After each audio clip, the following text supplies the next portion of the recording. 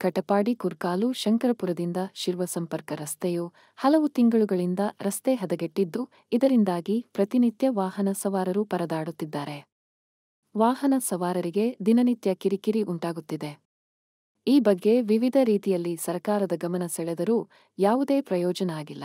ಈ ರಸ್ತೆಯ ಕುರಿತ ಹಾಡು ಕೂಡ ಸಾಮಾಜಿಕ ಜಾಲತಾಣಗಳಲ್ಲಿ ಭಾರೀ ವೈರಲ್ ಆಗಿತ್ತು. ಈ ಕುರಿತು ಅಧಿಕಾರಿಗಳು ಇತ್ತ ಗಮನಹರಿಸುತ್ತಿಲ್ಲ ಮತ್ತು ಹೊಂಡ ಮುಚ್ಚುವ ಕಾರ್ಯಕ್ಕೂ ಮುಂದಾಗುತ್ತಿಲ್ಲ ಎಂದು ಸಾರ್ವಜನಿಕರು ಆರೋಪಿಸಿದ್ದಾರೆ.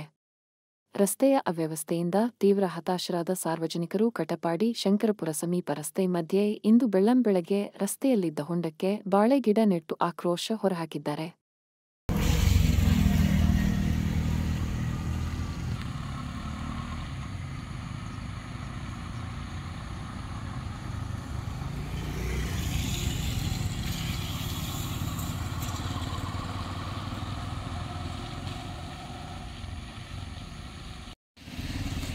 ಮಧ್ಯಾಹ್ನ ಮಾಡ್ತಾರೆ. ಪ್ರಚಾರ ಮಾಡ್ತಾರೆ. ಎಲ್ಲ ರೆಸ್ಪಾನ್ಸ್ ಇದ್ದಿರಲ್ಲ ಅಷ್ಟೇ.